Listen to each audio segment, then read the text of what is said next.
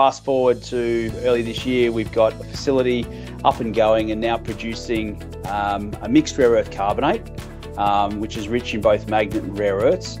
Uh, and that's going to be provided to, we're scaling up the production of our, of our demonstration plant to provide samples for, for offtake and strategic partner discussions.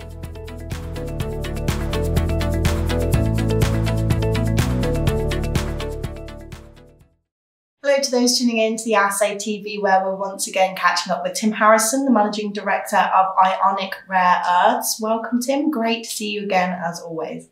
Hi, Katie. Nice to be back.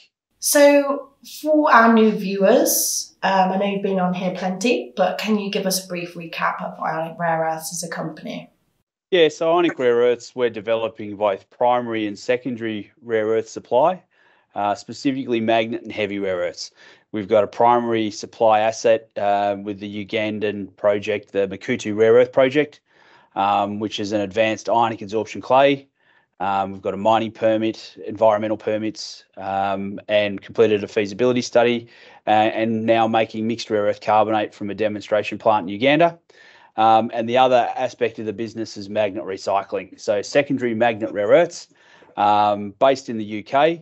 Um, we've our subsidiary there is Ionic Technologies. Um, and right now we've got a magnet recycling demonstration plant that's producing high purity magnet rare earths. Great, and the company has released plenty of news flow recently. So let's start with the announcement regarding the production of mixed rare earth carbonate at the company's demonstration plant, which is on site at Makuutu. What's the update there? What's happening? Yeah, so uh, we started building a demonstration plant middle of last year. Um, so you know, nine months ago it was a, a sugarcane field.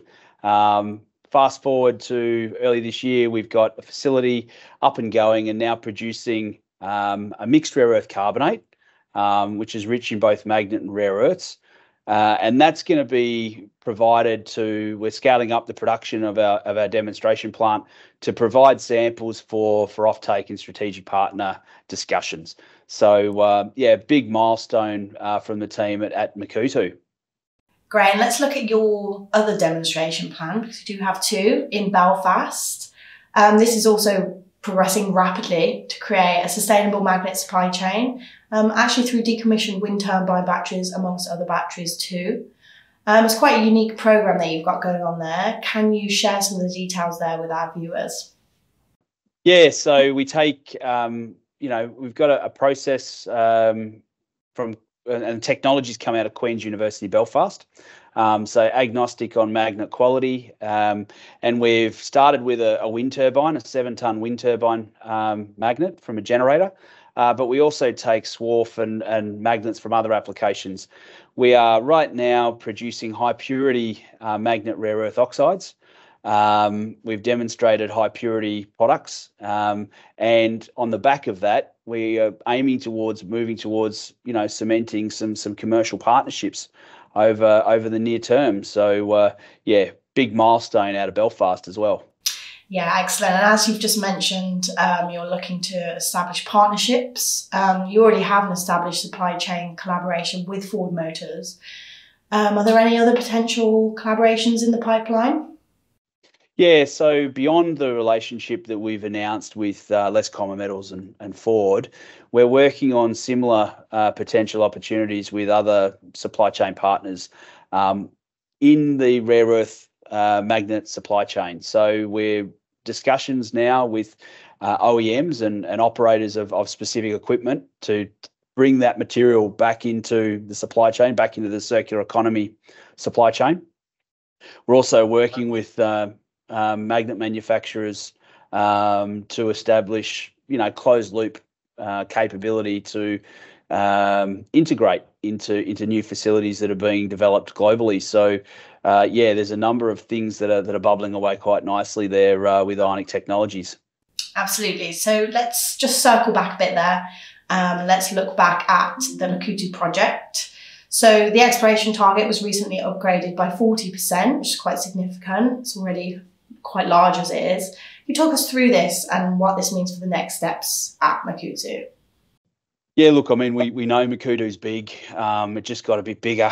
Um, so there's more than enough there for us to develop, you know, beyond the first stage of development at Makuutu, but but multiple stages of development so that we can scale out production of both magnet and heavy rare earths Uh, for a number of potential customers. So, you know, that increase in the, exploration target helps us to understand which of those tenements is likely to provide the, best bang for buck on conversion of potential to, to resource. So we've had a, a lot of information there. Ionic obviously has hit many milestones recently. So just to summarise for our viewers and investors, what are some of the key highlights they should be looking out for in the coming months?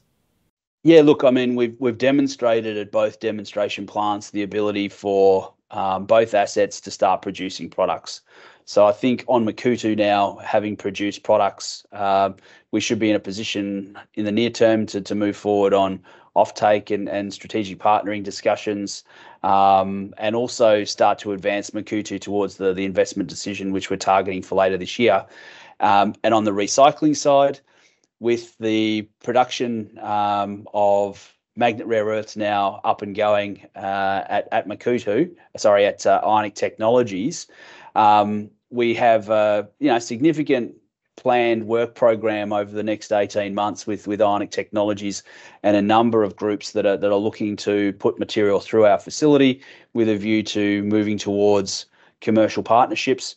So we hope uh, we aim to be able to move that potential towards something we can announce and start to position the the Ionic Technologies business case.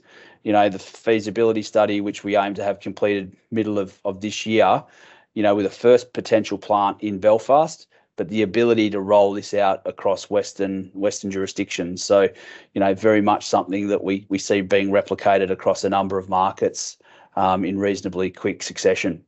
Excellent. Well, thank you for that, Tim. As always, it's a pleasure to have you on the Assay TV, and I'm sure we'll be hearing from you again very soon, considering the rate at which Ionic is rapidly progressing. Thanks, Katie.